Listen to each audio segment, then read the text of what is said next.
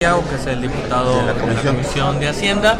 Estaremos eh, hablando nuevas eh, reuniones con ellos y aclarándole cualquier punto que, necesite. Ahora, el tema pensiones que se mete con, en últimas semanas, de alguna manera viene a, pues no a complicar, pero sí a abultar el tema.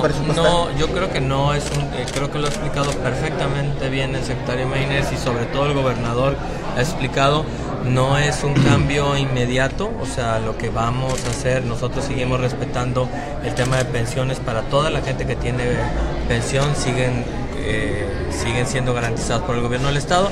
Entonces en el presupuesto hoy que estamos proponiendo en el 2018 no tenemos un cambio todavía hasta que se pudiera autorizar. En caso de que se pudiera autorizar, lo único que va a cambiar es la aportación que haría el gobierno del Estado para el nuevo sistema de pensiones, pero las pensiones claramente anteriores, las que ya están dadas, no sufren ninguna modificación y están garantizadas en el presupuesto del 2018. Del presupuesto que se está ejerciendo 2017 ya se terminó, ajusta perfectamente para el fin de año. ¿Vas a ocupar un apoyito por ahí? No se ha terminado, no se ha terminado. Obviamente está planeado para ejercerse en los 12 meses del ejercicio.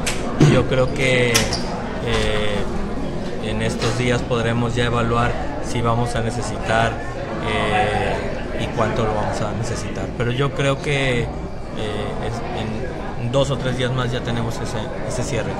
El ajuste cuatrimestral de este eh, que nos acaba de notificar la Secretaría de Hacienda es un ajuste negativo y bueno, pues tenemos un tema. Gracias. Gracias.